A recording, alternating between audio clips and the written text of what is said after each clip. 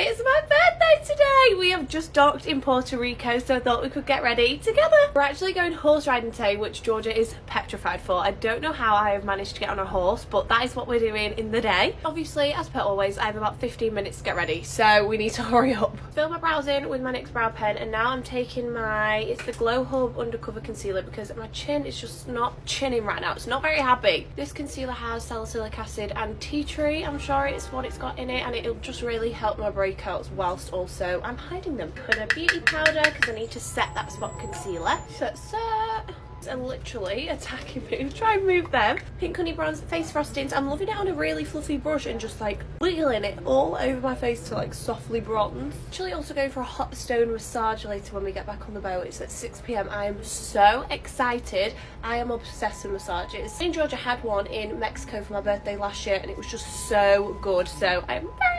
I am also vlogging my little birthday day today so you'll see everything that we're getting up to. So because Georgia is petrified of horses, I'm going to make sure I document every inch of her getting on the horse, riding the horse, aren't I? No.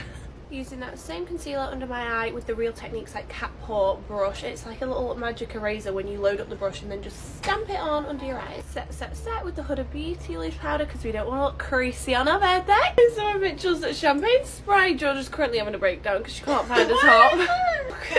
the glow that it's given. And now it's a lot later. We're actually out for my little birthday meal because I forgot to film and we've had a great day and I will post my vlog later.